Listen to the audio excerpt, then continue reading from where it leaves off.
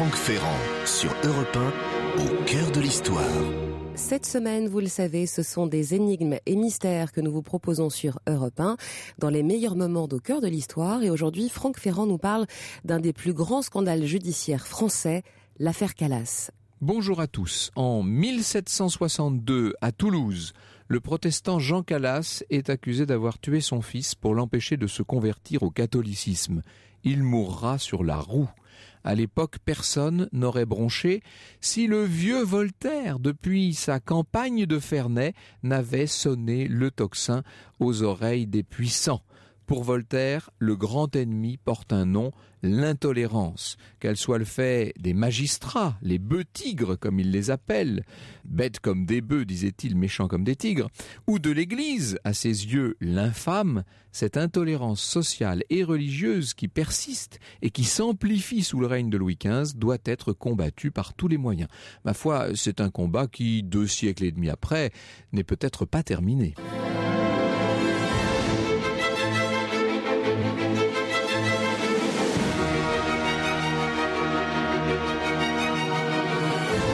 13h à 14h sur Europe 1, au cœur de l'histoire. Franck Ferrand.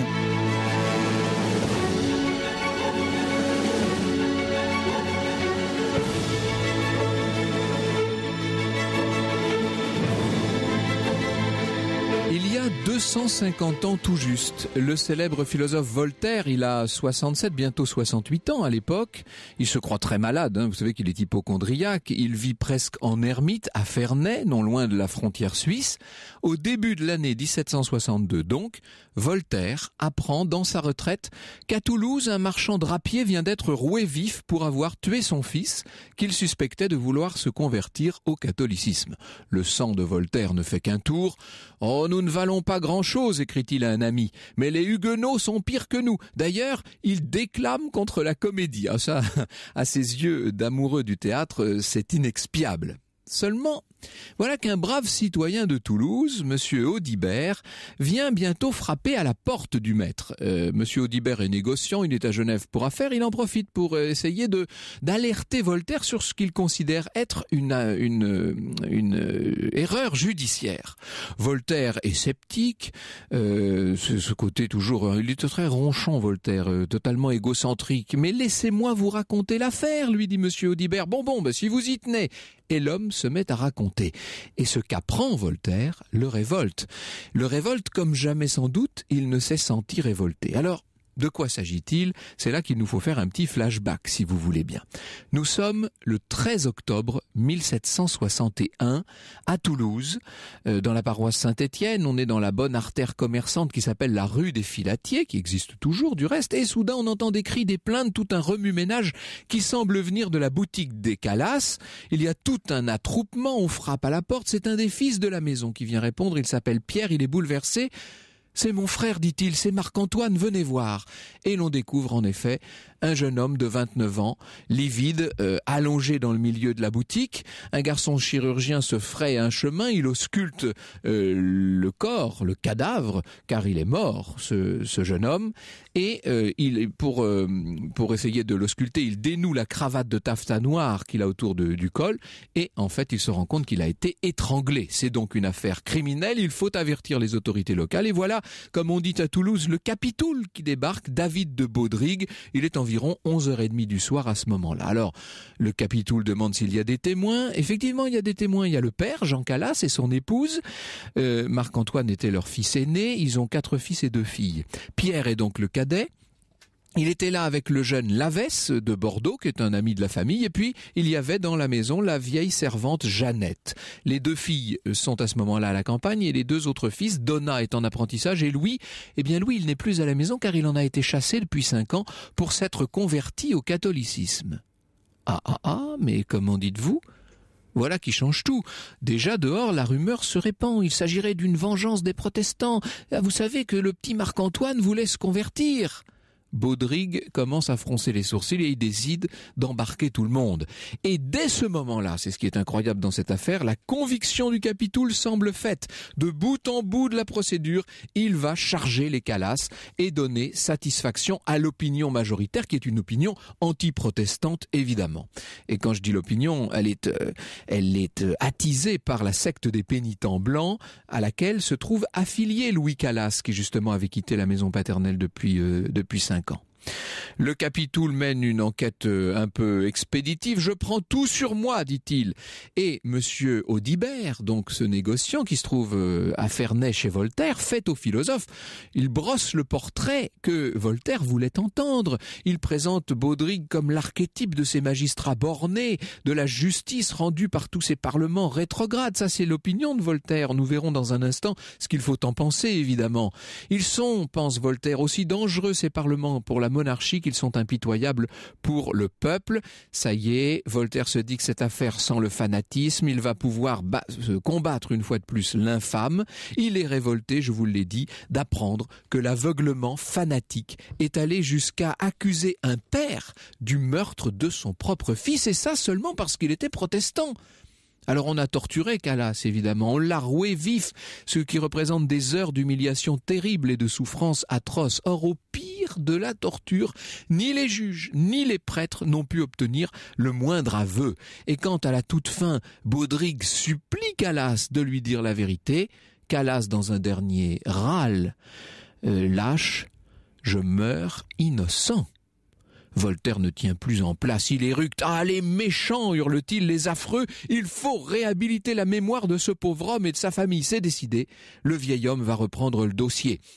Il enquête et pour ça, il va payer des envoyés sur place. Il interroge tout le monde. Il veut voir Donna Calas et Madame Calas qui vient jusqu'à chez lui. Il rédige des mémoires et d'ailleurs, il en envoie plusieurs à d'Alembert avec ces mots. Ces mémoires ne sont faits que pour préparer les esprits et avoir le plaisir de rendre un parlement et des pénitents blancs exécrables et ridicules. Au moins, il est clair hein, dans son intention. Protégez mon frère tant que vous pourrez la veuve Calas. C'est une huguenote imbécile, mais son mari a été victime des pénitents blancs. Alors là, à partir de ce moment-là, il faut la défendre. Il importe au genre humain que les fanatiques soient confondus. Ah, ça y est, Voltaire va bien d'un seul coup. Il a trouvé une cause à sa mesure. Il a beau se sentir vieux et malade, la colère, l'indignation, l'envie de justice, la haine du fanatisme le galvanise. Il va remuer ciel et terre et vous pouvez lui faire confiance. Il a des relations, Voltaire. Il écrit au roi Frédéric, Frédéric II en Prusse, à l'impératrice de toutes les Russies elle-même, la grande Catherine, et à Versailles, il en appelle à Choiseul, le grand ministre de Louis XV, qui discrètement le protège.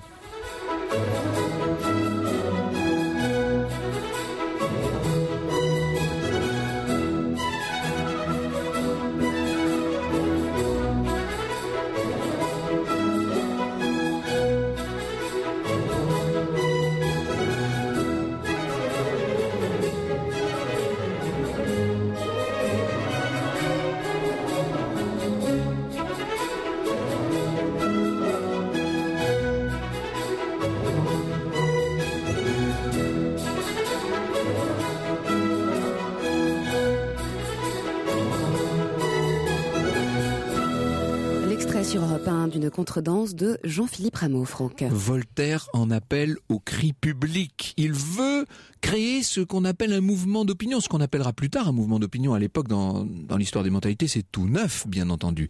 Il faut faire brailler en notre faveur tout l'ordre des avocats, pour que de bouche en bouche on fasse teinter aux oreilles du chancelier qu'on ne lui laisse ni repos ni trêve, qu'on lui crie toujours « Calas, Calas !»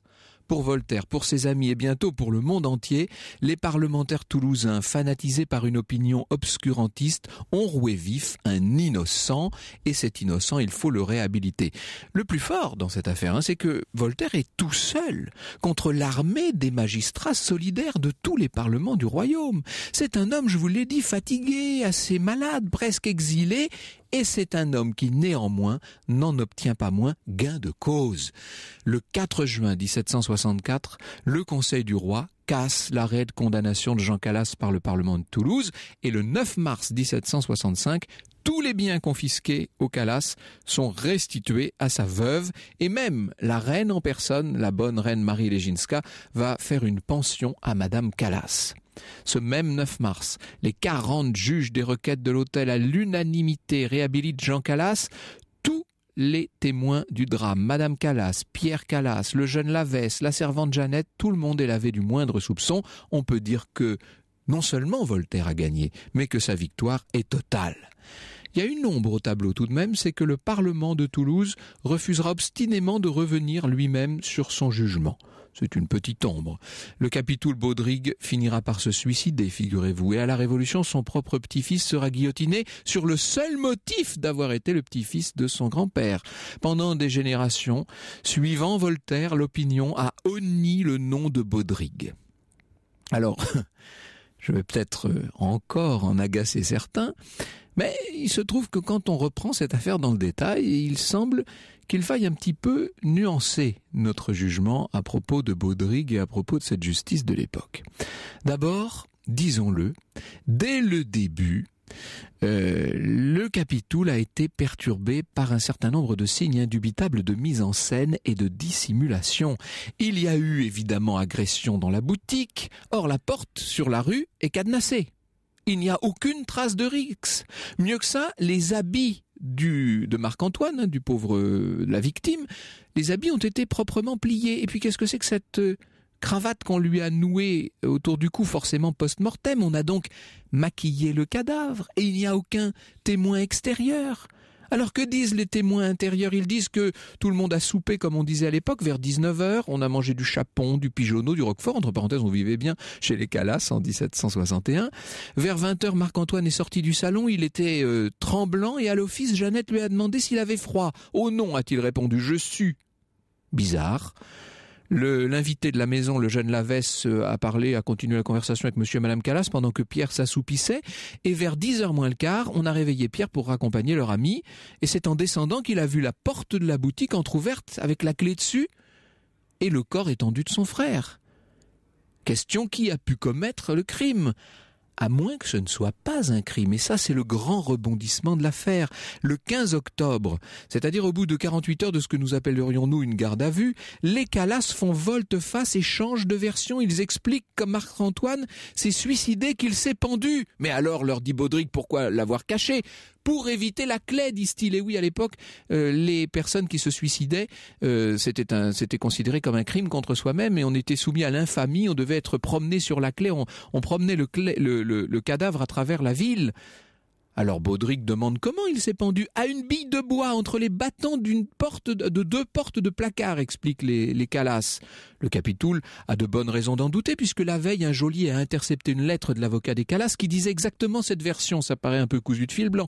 Eh bien néanmoins, Baudric va se rendre sur les lieux et procéder à une reconstitution, pas une, pas dix, vingt fois il essaie de reconstituer le crime, et vingt fois c'est un échec.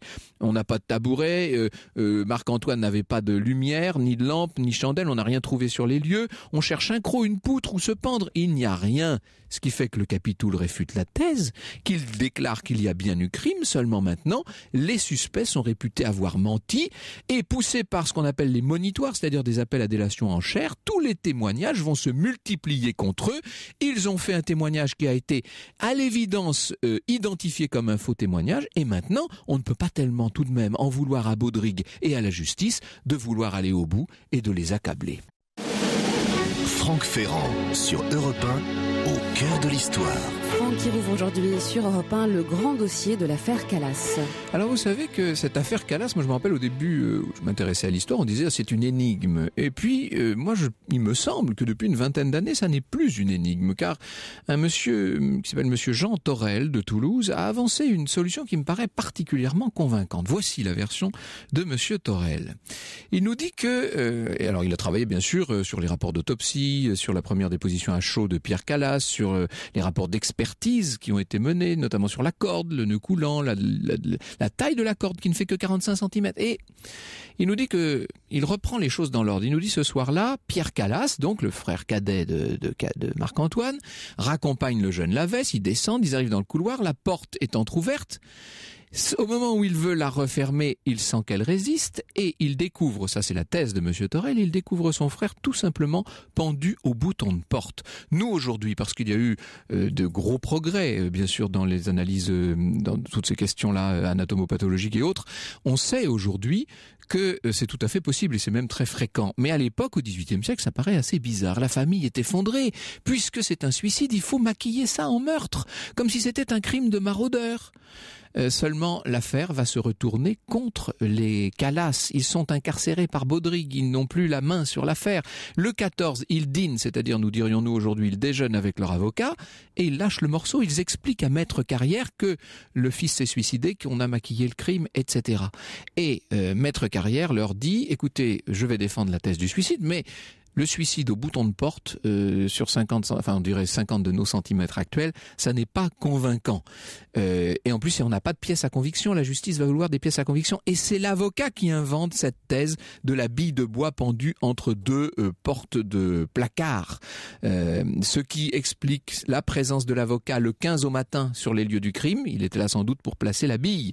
La bille, hein, c'est une un, un rouleau de bois sur lequel on enroule les étoffes. Problème, le scénario ne tient pas debout puisqu'il va être démonté à 20 reprises par Baudrigue, ce qui retire à partir de ce moment-là toute valeur à la parole des accusés. On peut dire que le piège se referme dès, lors sur les Calas et surtout sur le chef de famille, sur Jean, qui seul sera torturé et supplicié. Voilà sans doute, me semble-t-il en tout cas, ce qui effectivement s'est passé. Alors vous allez me dire pour le reste, ça ne change rien à l'affaire, car ce qu'il nous reste aujourd'hui de l'affaire Calas, c'est le rôle de Voltaire, évidemment. Voltaire qui, en se soulevant contre la arbitraire euh, de la justice de l'époque a fait avancer sans doute la conscience politique et donné ses lettres de noblesse à l'opinion publique. L'indignation de l'ermite de Ferney a porté, et tous ces gens, clamait-il, tous ces gens qui sont heureux à propos des parlementaires, il parle, hein, tous, ces gens qui ont une famille, une femme, des enfants, et qui rentrent chez eux tranquillement et qui dorment, eh bien on va vous réveiller, messieurs. La vérité, c'est que Voltaire a sans doute posé les bonnes questions.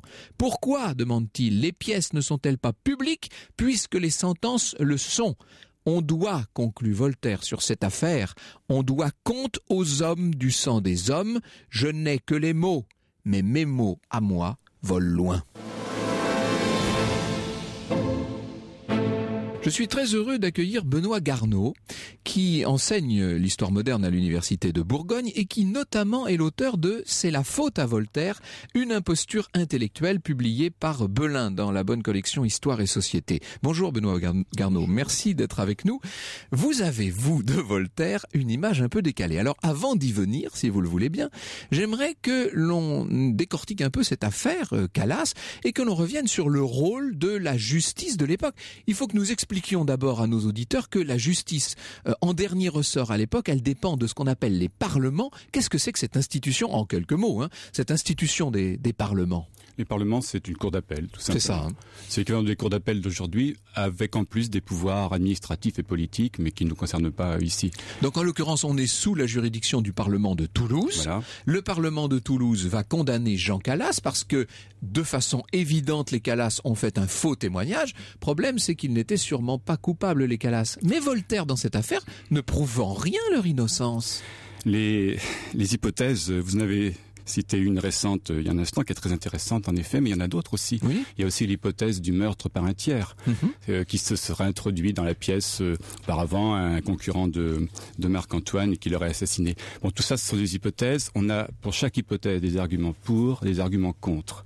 Le problème étant que euh, au moment de la scène, au moment du crime, la scène du crime, comme on dit aujourd'hui, n'a pas été décrite avec précision. Donc, euh, les enquêteurs sont revenus le lendemain, le surlendemain et ainsi de suite. Mais qu'est-ce qui s'est passé entre le moment du crime et le lendemain et le surlendemain, on ne peut pas le savoir euh, du tout. Il y a eu quand même des irrégularités. Non seulement l'enquête a été sans doute mal conduite, mais par ailleurs, euh, on s'est mis à utiliser ce qu'on appelle les monitoires. Alors c'était tout à fait régulier à l'époque, oui. mais enfin c'est pas très brillant quand même. C'est-à-dire qu'on demande aux prêtres en chair de, euh, de, de, requérir la délation en quelque sorte, hein, de demander aux, aux ouailles d'aller oui. dire ce qu'ils savent. En fait, euh, le monitoire, en général, est une pratique tout à fait classique à l'époque parce que, enfin, elle se justifie par le fait que on ne peut pas condamner sans preuve à la différence d'aujourd'hui où on peut condamner uniquement avec l'intime conviction.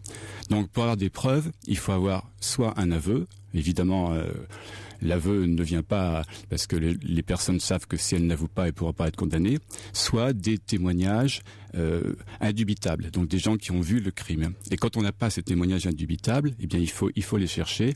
Alors ça peut nous choquer aujourd'hui euh, cette collaboration de l'Église avec la justice, mais à l'époque c'est quelque chose de, de logique. L'Église et l'État c'est un même ensemble. Il n'y a pas la séparation qu'il y a aujourd'hui. Alors le problème c'est que ce monitoire là, lui, il est biaisé.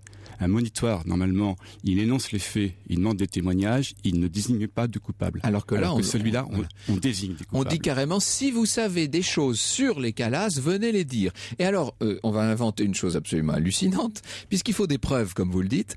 On va décider que, puisqu'on n'a pas de preuves matérielles, un oui-dire va valoir quart de preuve, et qu'une impression ou simple sentiment va valoir un huitième de preuve. On est quand même en train d'inventer tout simplement la preuve par calomnie, là.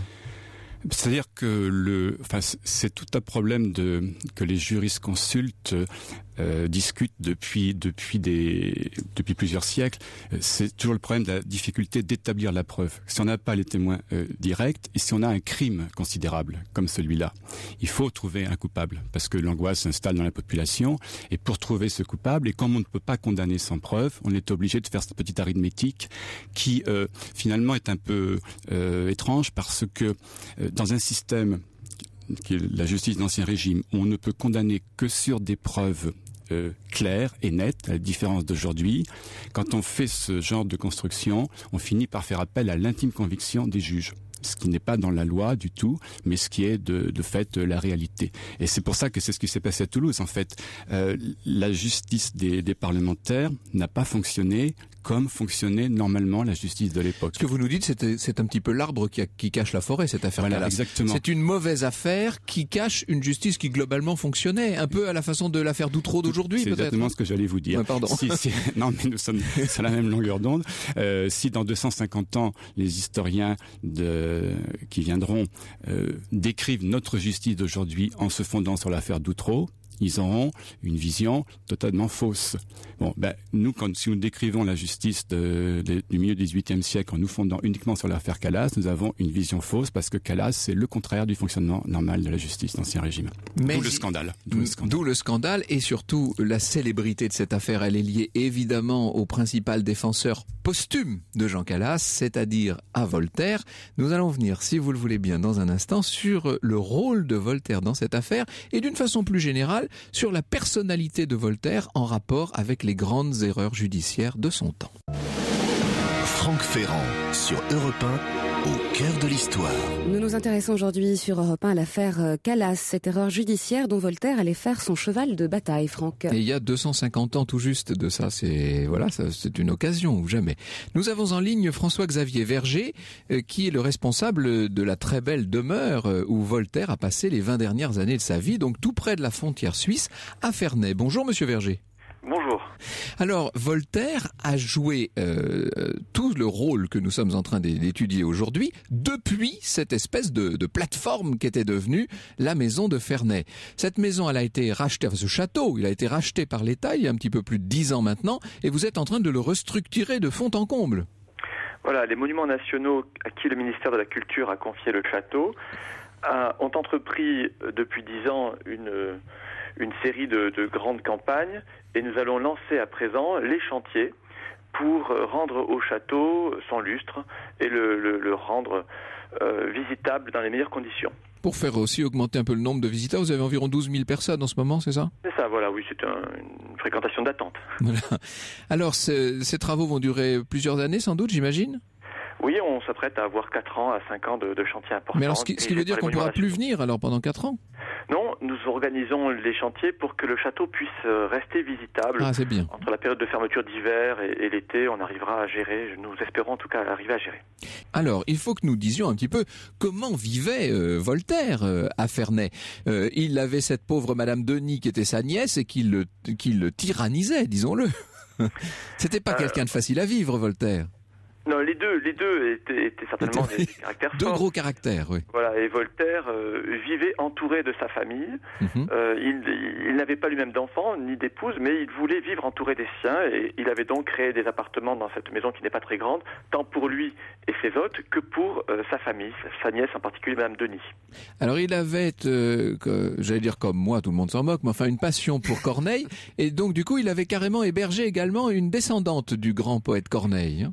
A réussi à retrouver euh, parmi les descendants un assez pauvre euh, du, du, du, dramaturge, une de ses, une de ses arrière-petites nièces qu'il a, qu'il a accueillie chez lui et à qui il a donné une situation en la mariant avec un de ses voisins de Ferney-Voltaire. On, appelle Voltaire, c'est devenu un poncif, même on l'appelle l'ermite de Ferney. Euh, il avait rien d'un ermite, hein. disons qu'il avait quand même une grande fortune, un ascendant intellectuel considérable, des relations phénoménales. Il était plutôt le patriarche de la région à l'époque. C'est plutôt le patriarche qui convient en effet, oui. Voltaire accueillait dans sa maison de Ferney tous les intellectuels du, de l'Occident de l'époque, de, tant de la Russie que de l'Angleterre, euh, de la France naturellement, l'Allemagne avec les, la- la- les courtisans de, de Frédéric de, de Prusse en particulier. Bien sûr. Comment est-ce qu'on visite donc euh, cette euh, demeure de, Vel- de Voltaire à Ferney? C'est ouvert tous les jours?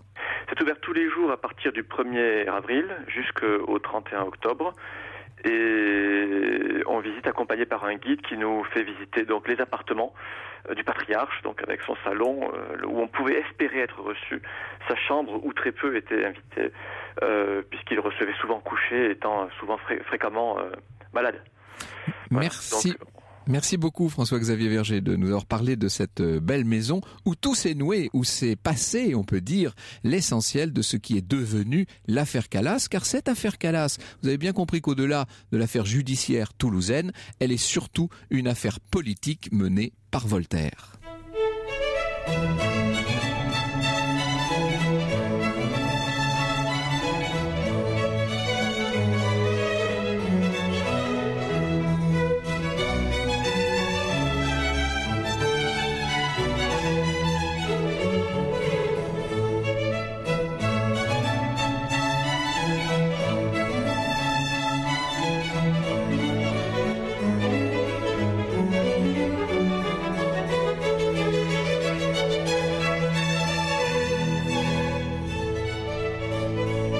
Larry Tournel, extrait de la danse de Jean-Philippe Rameau, Franck sur Europe 1. Ce qu'il faut dire, c'est que la passion de la justice euh, et ce rôle de justicier, il est venu quand même à Voltaire relativement sur le tard. Voilà ce que Benoît Garneau dans C'est la faute à Voltaire, une imposture intellectuelle, qui donc est publié chez Belin, voilà ce qu'il écrit. Voltaire passe aujourd'hui pour un précurseur des droits de l'homme et pour un héros du progrès judiciaire. Il doit cette réputation à des affaires judiciaires exceptionnelles. D'ailleurs, on y viendra euh, tout à l'heure, il n'y a pas que l'affaire Calas. Rencontrer ces affaires au soir de sa vie, dans lesquelles il s'est engagé pour des raisons non pas judiciaires, mais idéologiques, la lutte contre l'intolérance religieuse, et où il a su déployer avec succès son génie de la communication. Progressivement, elles lui ont permis de dessiner de lui-même une image pour la postérité. Et Benoît Garneau ajoute, cette image flatteuse cache une double imposture intellectuelle, celle de Voltaire lui-même, qui a présenté au fil de ses combats un tableau inexact de la justice pénale de son temps, et surtout celle de la postérité qui, par conformisme, a le plus souvent recopié et répété aveuglément les critiques du philosophe, sans en vérifier la véracité, faisant ainsi passer l'arbre pour la forêt et nourrissant une légende noire encore trop vivace. On peut dire que vous n'y allez pas par quatre chemins, Benoît Garneau. Mais Voltaire euh, non plus. enfin, heureusement, pour moi, il est mort, il pourra pas. Oui, euh, il vaut mieux pas l'avoir il faut mieux comme, pas euh, l'avoir en face. oui. c'est plus, c'est plus prudent. Oui, Voltaire s'est intéressé en fait très tard à la justice. Il avait 68 ans au moment de l'affaire Calas, vous l'avez dit tout à l'heure. Et jusqu'à l'âge de 68 ans, il y a eu d'autres, euh, il, il a assisté à d'autres erreurs judiciaires qui l'ont laissé complètement froid et même qui l'ont fait rire euh, par moments. On va Euh, dire presque ricané, hein, parce qu'il avait quand même oui. la, la plume assez acerbe, Voltaire. Oui, tout à fait. En fait, s'il en vient à l'affaire Calas, c'est c'est pas pour des raisons judiciaires, c'est pour euh, lutter contre l'Église. Il a trouvé ce biais pour attaquer l'Église catholique et l'intolérance qu'elle symbolise pour lui. Et il voulait s'en prendre aussi à cette institution qu'étaient les parlements, qu'il avait de bonnes raisons de haïr d'ailleurs, parce qu'il ne lui avait pas souvent fait la vie facile, mais qu'il qu'il haïssait presque autant que, que l'intolérance religieuse. Il avait beaucoup d'amis parlementaires, donc de ce fait, euh, il hésitait à attaquer les parlements.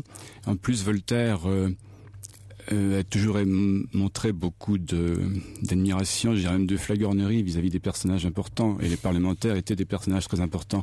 En fait, on, on voit ce que pensait vraiment Voltaire des parlements quand les parlements sont supprimés. Ils sont supprimés par euh, Louis XV en 1771 et de 71 à 74 jusqu'au rétablissement. la révolution Maupoux. Voilà. Voltaire se déchaîne contre les parlements. Il n'y a, plus, il y a plus de parlementaires, il n'y a plus de parlement, donc il peut dire vraiment ce qu'il pense. Mais avant et après, quand les parlements existent et qui sont très puissants, Voltaire hésite vraiment à les attaquer.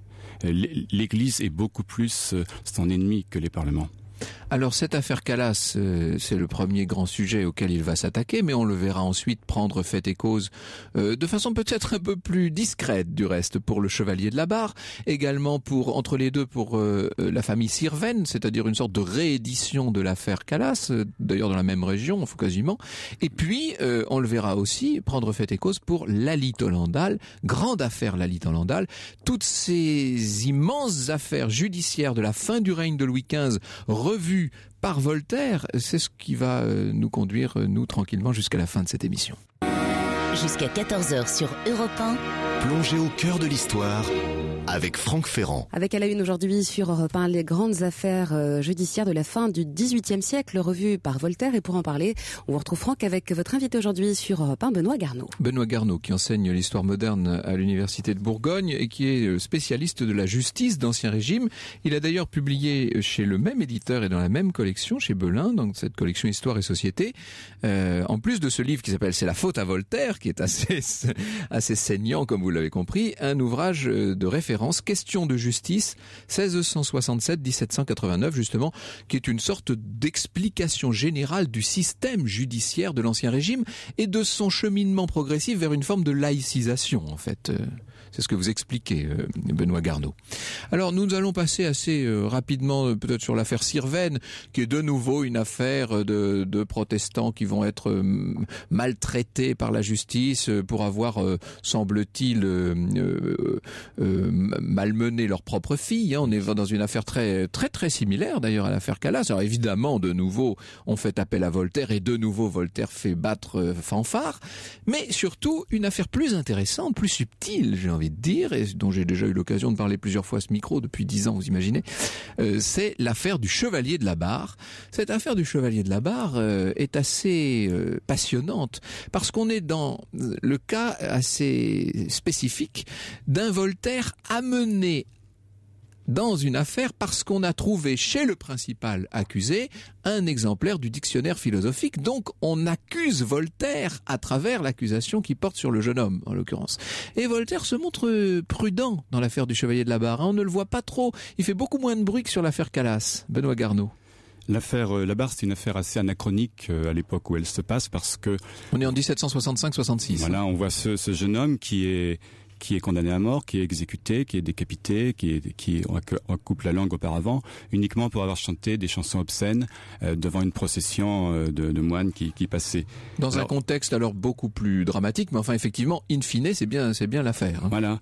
Euh, c'est complètement anachronique. Euh, une peine de mort pour ce genre de d'acte euh, à cette époque-là, deux siècles avant, c'était imaginable, mais plus du tout au XVIIIe siècle.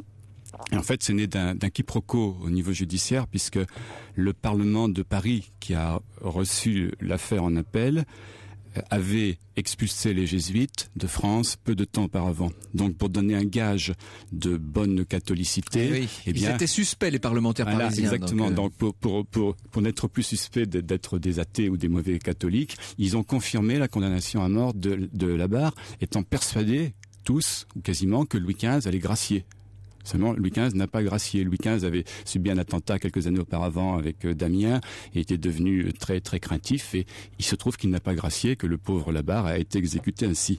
Alors euh, ça choque Voltaire, mais ça choque surtout, comme vous l'avez dit, parce qu'il se sent lui-même menacé. On a brûlé avec le corps de Labarre, qui a été brûlé après la décapitation, on a brûlé le dictionnaire philosophique de Voltaire. Et Voltaire a beau être à la frontière, à Ferney, est tout près de la Suisse, tout près de Genève. En, en quelques minutes, il, est, il, sera à l'étranger.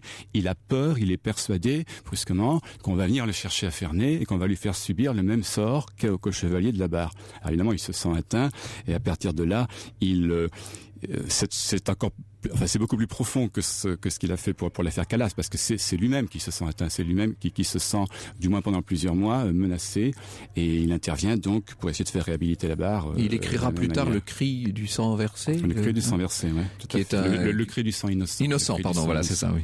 Qui est une sorte de, de pamphlet, on peut dire, contre euh, l'obscurantisme, en quelque sorte. Ce qu'il faut dire sur l'affaire du Chevalier de la Barre, c'est que l'Église catholique qui a été euh, si longtemps euh, accusée d'avoir mis du feu, d'avoir attisé les braises dans cette affaire, si l'on regarde dans le détail point par point, elle a plutôt eu tendance à apaiser constamment les choses et à demander la grâce de la barre. Hein, L'Église n'y est pour rien dans cette dans cette affaire. Au départ, ce sont des des heurts entre des clans dans la ville euh, d'Abbeville qui, qui aboutissent à cela. Mais euh, dans, dans le cri, enfin du, du sang euh, innocent. innocent et dans les écrits correspondants, Voltaire montre bien la, la même méthode qu'auparavant, c'est-à-dire qu'il travestit la réalité pour pour donner des arguments euh, qui sont artificiels. En fait, par exemple, il prétend que euh, la barre a été condamnée à Abbeville par un juge qui est un ancien boucher et qui n'a aucune formation euh, juridique. Or, c'est entièrement faux. Les juges de l'époque ont forcément au moins une licence en droit. Et, il fait feu de tout bois. Il hein, fait Voltaire. Ce qui compte pour lui, c'est le but à atteindre. Et pour le but à atteindre, il est prêt à prendre des moyens qui sont pas toujours très honnêtes, en fait. Aux origines de notre communication moderne. Exactement. Exactement. Alors, au moment où le pauvre jeune chevalier de la barre euh, est jeté dans sa prison euh, de Paris pour le procès en appel, d'ailleurs on le colle dans la cellule de, du régicide d'Amiens, ce qui n'était pas une très bonne, très bonne, de très bonne augure, au même moment on est en train de décapiter en place de grève le célèbre Lali Tolandal. Et là encore Voltaire euh, intervient. Alors, Lali Tolandal, il a été accusé, c'est un général qui a été accusé de haute ah, Lui, c'est un haut personnage, un hein, général. Accusé de haute trahison. Il n'est pas français d'ailleurs, mais il dirigeait les troupes françaises en, Inde. Et il a été euh, accusé d'avoir d'avoir volontairement perdu une bataille contre les Anglais en Inde. Donc, il a été, il a été condamné à mort. Il a été euh, décapité en place de grève. Au début, euh, Voltaire trouve ça très bien. Il dit bah, c'est un traître, il fallait le décapiter, c'est une excellente chose. Puis ensuite, il a d'autres informations, surtout il connaît des membres de la famille, et finalement il change d'avis et il intervient aussi pour essayer de faire réhabiliter euh, la mémoire de, de Lali Tolandal. Avec succès d'ailleurs parce que c'est juste avant sa mort que Voltaire apprend que Lali Tolandal a été euh, réhabilité. Ce que vous nous dites dans, dans Question de justice, c'est que la réhabilitation était une chose extrêmement rare. Si Calas est réhabilité en 1765, écrivez-vous, mais à titre posthume, en règle générale, les, les réhabilitations demeurent très rares, les grâces judiciaires accordées en beaucoup plus grand nombre n'entraînant pas la moindre réhabilitation, même si l'opinion s'y trompe souvent. Absolument, mais les réhabilitations sont quand même plus fréquentes qu'aujourd'hui et plus rapides. Calas, ça a mis trois ans.